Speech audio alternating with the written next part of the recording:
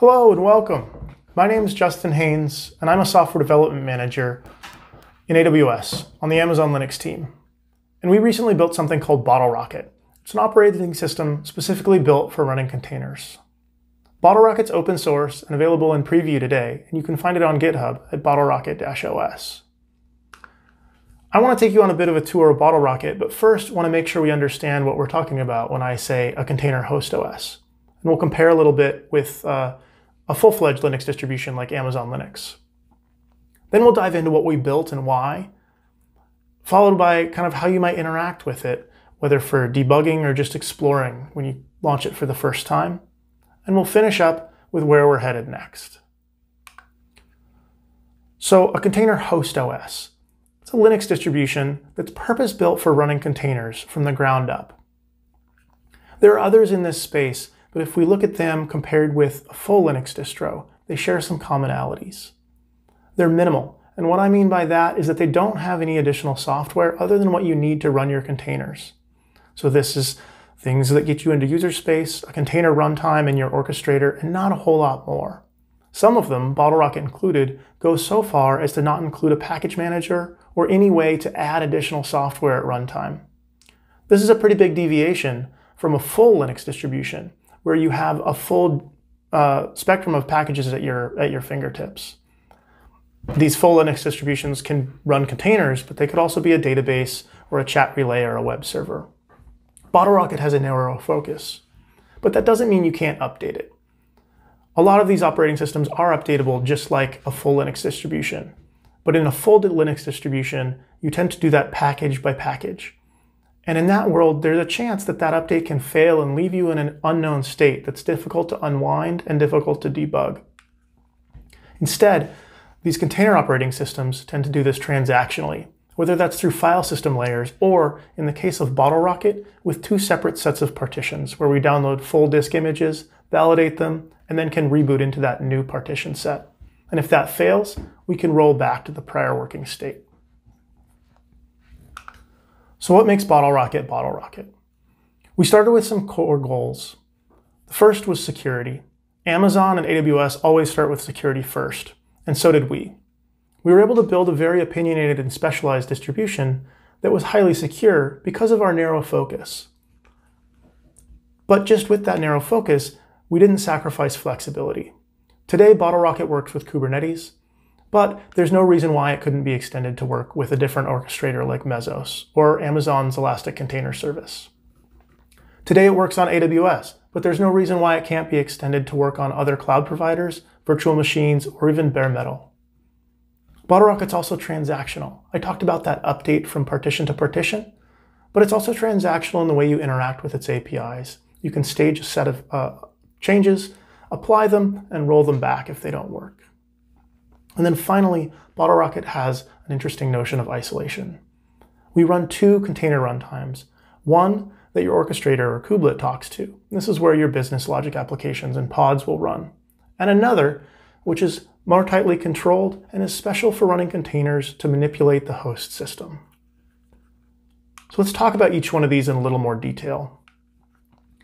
Starting with security, we started with SELinux. And the goal of our SELinux policy was to separate the containers that run in your orchestrator from the rest of the operating system. You can get around this, but by default, our policy very tightly restricts those containers so that they can't interact with the host system in any way. If someone is able to get around this policy somehow, we have additional mitigation measures in place. Most of the host OS is a read-only file system. And so if you do find yourself there, there's not much that you can actually change. If you are able to make a change, we use dm-verity. That validates each partition on boot. And so if someone was able to make a change that we didn't expect, the system wouldn't boot. And that's not ideal, but it's better than having a malicious attacker embedded in your system throughout reboots. The etc directory in Linux is one that stores things like configuration data for your running software. And it's generally something that needs to be updatable at runtime. So we can't make that read-only. Instead, we made it a stateless tmpfs. It's created on boot and it's empty. And then we use helper programs to populate it with all the appropriate configuration bits. Bottlerocket also doesn't have a shell or interpreters, And that's kind of wild. The way I go to debug a Linux system is to jump in there and start running commands in my shell. But if we look at this from a security perspective, interpreters and shells are purpose built to change the way programs are running or link one program to another in maybe unanticipated or unintentional ways. If we don't have a shell or interpreters, this just can't be done as easily. Also, all the binaries on the system, whether they're C, Go, or Rust, are built with a bunch of additional hardening flags. I have a link down here at the bottom to one of our GitHub, read, uh, GitHub documents that talks about these security features and more in a lot more detail. Bottlerocket's also flexible. Different builds of Bottlerocket are called a variant. So for example, we have a build, uh, a variant called AWS-K8S-1.17. And that tells me that this variant's built for running on AWS, so it knows things about the instance metadata service and user data. It uses the orchestrator Kubernetes, and it uses the 1.17 version of that orchestrator. We're currently building another variant called AWS-ECS-1. So again, that's for running on AWS. It uses Amazon's Elastic Container Service as the orchestrator, and it's version 1, because ECS is versioned a little differently than Kubernetes. So you can think of these variants as just combinations of software, modeled settings to configure that software, and disk layouts. By default, our disk layout contains two sets of partitions to perform this transactional update. But if you're a customer who uses immutable infrastructure and replaces instances to apply updates, you might want to build a variant that doesn't have these two partitions and that doesn't have the associated software to validate and download those new updates and that could be an immutable variant. You can almost think of Bottlerocket as a set of tools to build container host OSs. So I mentioned Bottlerocket's transactional updates from partition to partition. We use a framework called the Update Framework, or TUF, T-U-F, which is a CNCF graduated project with a reference implementation written in Python. We wrote our own implementation in Rust, and it's available on GitHub in AWS Labs slash tough, T-O-U-G-H. The update framework provides a wonderful way of mitigating against a bunch of common attack vectors by way of signed metadata that eventually points to these disk images and additional target files that we can validate as they come in over the air and know with a high level of confidence that nothing has been changed by the time they land on our disks and we try to boot them. We download those to this alternate set of partitions, and then we toggle the partition priority so that when we reboot, we land on that new updated set. And if it fails, we automatically fall back to the prior working state. Bottlerocket also has this notion of isolated container runtimes. For the Kubernetes variants, we use Containerd for both of these, but it could be swapped out for Docker or something else. One Containerd is the one that the kubelet knows about, and it's where your pods will land. It's very configurable. The other Containerd is for running what we call host containers. And host containers are often highly privileged, and they're made for manipulating the system. By default, there are two, one on and one off, and you can change these or you can add your own. The host container that's on we call the control container, and in that container is the AWS Systems Manager and our API socket. This means that you can use remote commands to change configuration values and manipulate the system. The other container, host container, is called the admin container. It's off by default. And if you turn it on, it's Amazon Linux 2 in a container. And it lets you have that rich debugging experience with all the package ecosystem that you expect in a full Linux distribution. And we'll dive into more about how you might use that as we go on. But I want to walk back for a second and talk about these settings. And these settings are really important because they're the only way you can configure the system once it's built. They're just simple key value pairs. You specify them in user data if you want, in a TOML format, or you can update them with our API. You can also write custom validation rules that are compiled at build time so that you make sure that these settings look the way you expect them to look, whether it's an IP address, a URI, or something else. Again, with a nod towards security, these are all written to a small and dedicated file system where only these settings live. And because they're validated both on write and on read, it's hard to imagine how someone could persist a, a, malicious binary or something here within these settings and we wouldn't see it. But not all settings are completely straightforward. Some of them we only know at runtime, so they can't really have a default. Some of them depend on other settings. Some need to be written out to a configuration file, and a piece of software notified when that file changes. We saw this with metadata. So each setting can have some metadata associated with it. It can have something called a generator. So if this setting is missing, how do I create it? It can have information about what configuration files need to be written if this setting is changed and how they should look. It can have information in a template format about how this setting should be generated based on maybe other settings. It can also have information about the pieces of software or the services that need to be either started or restarted if this setting were to change. All this metadata is exposed through our API, but in a read-only form, because there's much too much control associated with being able to edit these metadata settings on the fly. Instead, they're configured at build time only. So let's take a specific example. We'll use the admin container. If I want to customize the admin container, I can specify the hostcontainers.admin.source in this TOML syntax in my user data. And this is a long URI that points at an Amazon Elastic Container Registry repository. And if I do this and I enable the admin container, I'll pull this container down and that's what I'll run. If I don't specify that, there's no default for the admin container. Instead, we use a generator called Schnauzer and a template file that looks like this. So this almost points at just another ECR repository, but it has these curly braces that specifies the AWS region where we're running. That way we don't have to pull data from uh, across the world if we're running in a different region than the one that we set as the default. But that AWS region, we only know at runtime. Early in the boot process, we run a piece of software that can pull all the information out of the instance metadata service that we might need, things like the IP address and the region that you're running in. Then things are handed off to a supervisor that knows about all the various generators on the system, and it runs them in order. When that generator runs, it goes and looks for any settings that it sees in its template and writes that new compiled setting out to the disk. Sometimes we need to make bigger changes though. It's not just changing a setting, but maybe we need to change the name of a setting. Or maybe we even want to swap out an entire component of the system. Maybe we want to use Docker instead of Containerd. And we can do that during an update with migrations.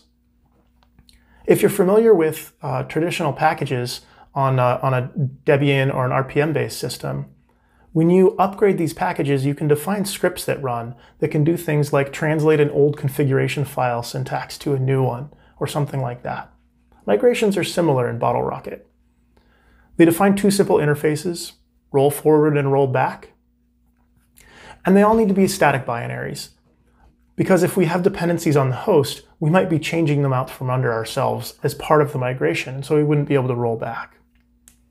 They're also tied to individual settings rather than to variants. And the nice thing about that is that if you build your own variant and you say, oh, I want that configurable also, I'll pull that setting into my variant. You'll automatically get all of these migrations over time as your variant is updated also. So we talked about what we built and why, but how do I use it? So you can launch a Bottlerocket instance just like you would any other instance. You can launch it through the console or the AWS CLI, we're also fully integrated with EKSCTL, so you can use that to spin up an EKS cluster with Bottlerocket as your uh, uh, worker node target. Like I said before, Bottlerocket's user data is structured TOML rather than an open-ended bash script or something like that. All you can set is these configuration values that we defined at build time. You can manipulate them after you start the instance with our API. And for further debugging, you can launch this admin container that I've talked about.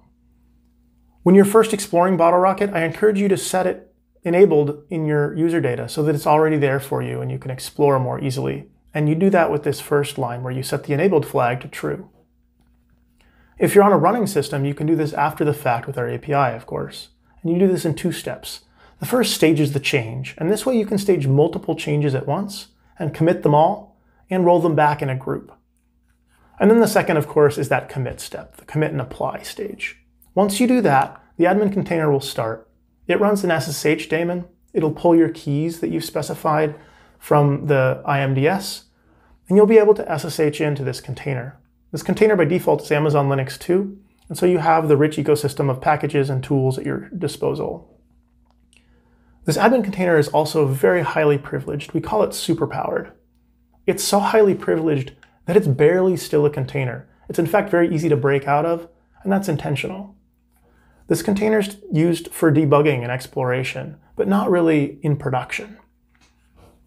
We supply a helper script called sheltie that will performs this container breakout for you. It switches you into the host's namespace and uses a static bash so that you can have a shell there and you can explore. You can navigate to the settings directories, you can look at logs, you can look at config files and all those things that you might expect to be able to do on a normal Linux distribution.